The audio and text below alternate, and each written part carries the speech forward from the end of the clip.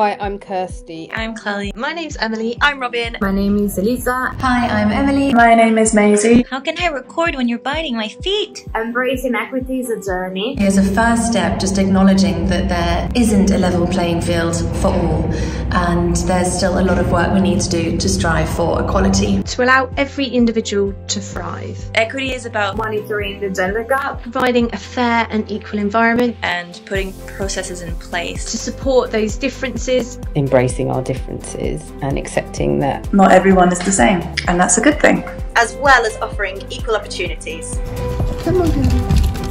As a woman, I was always going to fall short in their eyes. There was a preconception that females weren't as resilient. I found myself fighting to be heard. Now I'm incredibly lucky to work for a company where there is such a powerful amount of women in the company.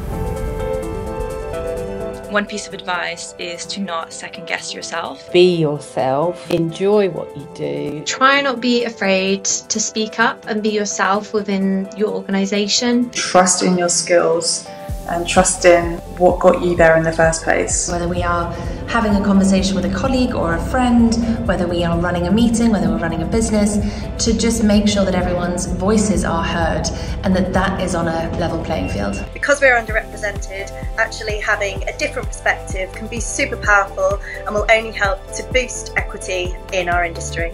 We are all in this together. Happy International Women's Day!